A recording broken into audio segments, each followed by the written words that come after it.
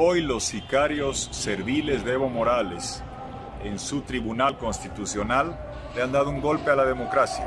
Evo Morales está desconociendo la constitución que él mismo pidió que votemos. Está desconociendo el referéndum del 21 de febrero cuando nos consultó y le dijimos no te puedes quedar en el poder, debes irte a tu casa. Les aseguro que el sistema interamericano de derechos humanos no va a permitir que el artículo 23 de la convención que protege a los ciudadanos de los abusivos autoritarios sea usado por uno de estos abusivos autoritarios para que buscar quedarse en el poder.